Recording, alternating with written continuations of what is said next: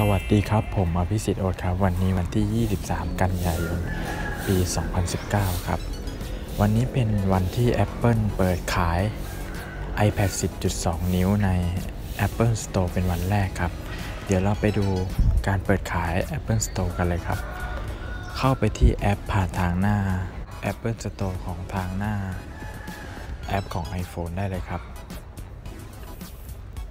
เสร็จแล้วก็เนี่ยครับเลือกที่ตรงคำว่า iPad แล้วก็มี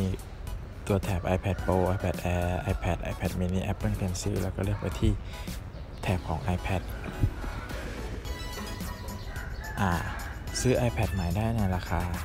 19,000บาท ก็จะมีสีให้เลือก 3 สีคือเทาสเปซเกย์เงินแล้วก็ทองครับ เดี๋ยวเราลองกดเลือกเป็นสีเทาสเปซเกย์ดู แล้วก็ หน่วยความจำในตัวเครื่องมี 32 กับ 128 โดย 32 เริ่มต้นที่ 1,900 บาท 128 เริ่มต้นที่ 13,900 บาทห่างกัน 3,000 บาทครับ เดี๋ยวเราลองเลือกที่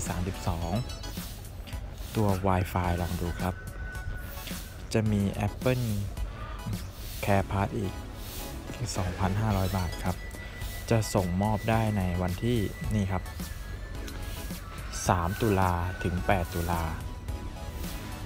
ก็คือเหมือนเป็นการ pre-order ครับ แต่ตัวนี้จะสามารถกดใส่ถุงตรงนี้ได้ครับ กดลงในถุงตรงนี้ได้ แต่ถ้าเราเลือกเป็น Wi-Fi แอ c เซลลูล่า